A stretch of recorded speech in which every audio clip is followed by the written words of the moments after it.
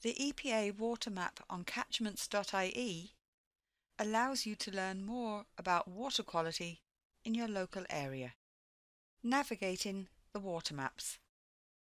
The theme toolbar along the top of the page allows you to access the available layers grouped under themes.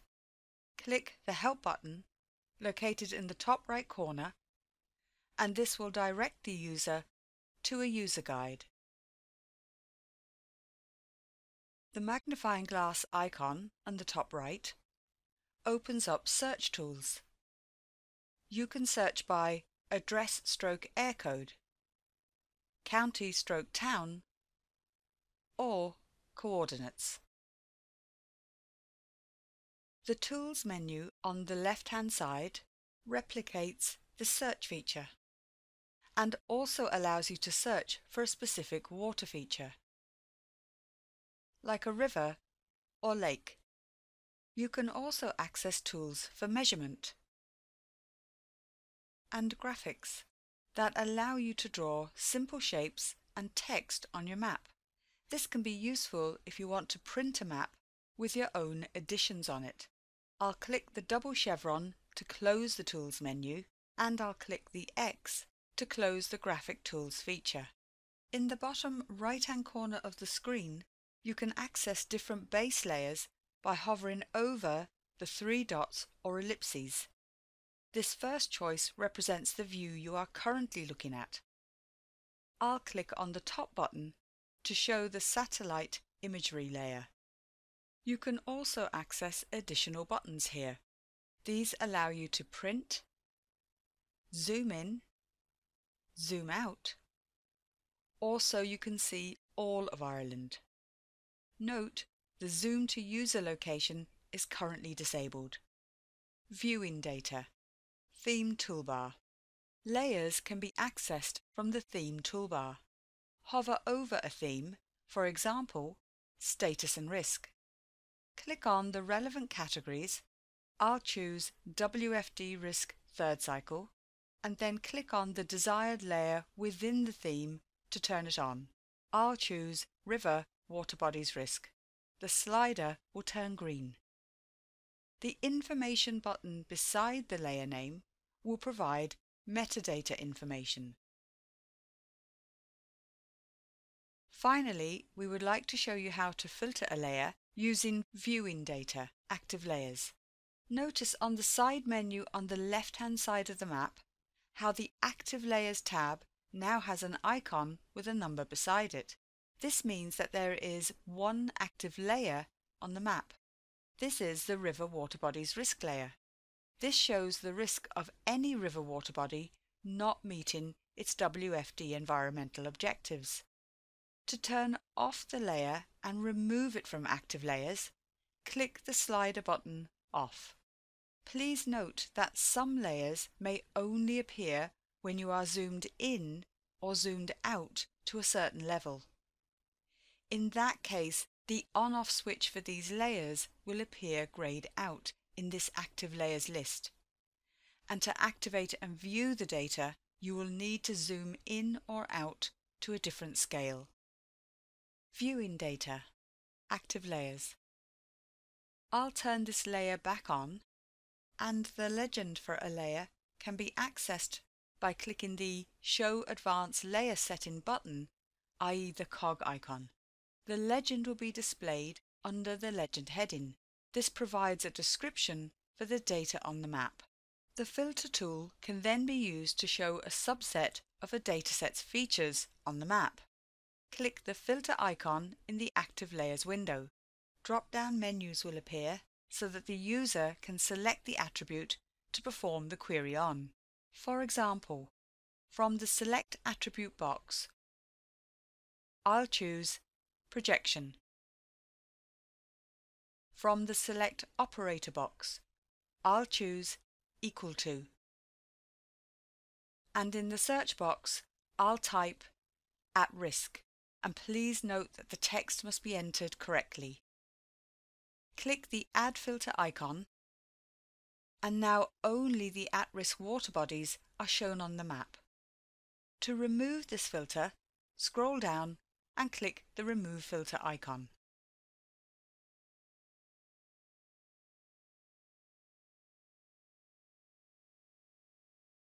Viewing data.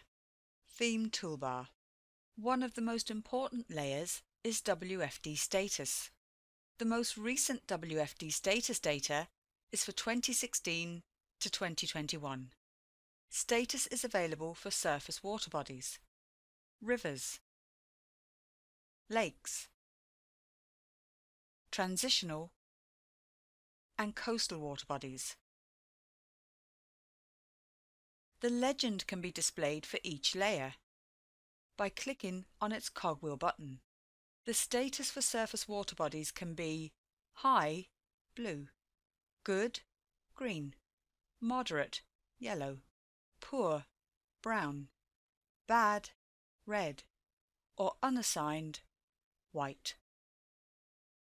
Status is also available for groundwater. Click on Status and Risk and click on Groundwater. This can be good or poor. As you can see, it can be confusing to switch on and try and view surface water bodies and groundwater bodies at the same time. So any layer can be switched off at any time in the menu by sliding the slider to off. Tools Search Water feature the Search Water feature opens on the right-hand side of the map. It provides the option to search for water bodies, subcatchments and catchments. Please note that local names for a river, lake or other water body may vary from their formal designated name.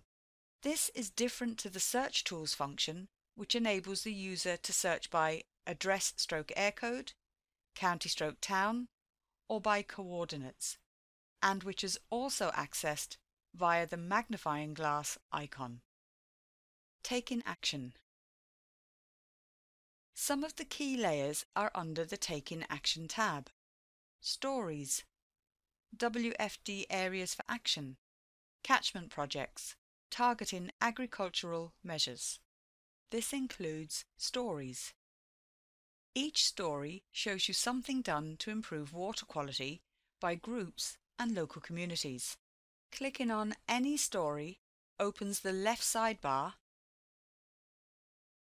allowing you to click on a link to that story on catchments.ie. WFD Areas for Action This shows areas where efforts and resources have been targeted to try and achieve water quality improvements under the River Basin Management Plan. You can zoom in, then click on any area for action using your mouse. This will open the menu on the left-hand side of the screen. If you click on the down arrows, you will see information about this area for action, including area name, area type, lead authority, number of water bodies, start year, progress update, WFD cycle, link to PDF report if available. Then click on the Zoom to Ireland button to bring the screen back to its original size. Catchment Projects you can also view catchment projects undertaking action. Catchment projects are areas where there are already projects ongoing at catchment scale, or where funding or plans are in place which will have benefits for water quality protection stroke restoration during WFD Cycle 3. Clicking on any catchment project will select it and open it in the Active Layers menu on the left-hand side.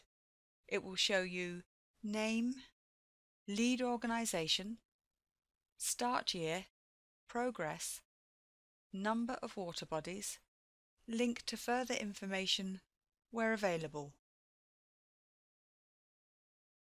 Targeting agricultural measures. The final layer under taking action is targeting agricultural measures. Agriculture is the most significant pressure on water quality in Ireland. Where actions are needed to improve water quality, this layer shows the actions that farmers can take. There are six flags to indicate the actions that can be taken. Navy flag.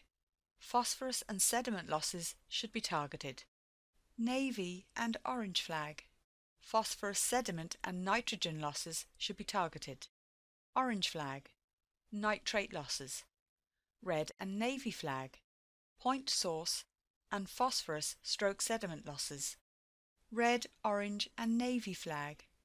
Point source, nitrate and phosphorus stroke sediment losses. White flag. In these areas, actions to protect water quality are recommended. More details are available on targeting agricultural measures, including the use of pollution impact potential maps, in our video specifically for farmers on this topic.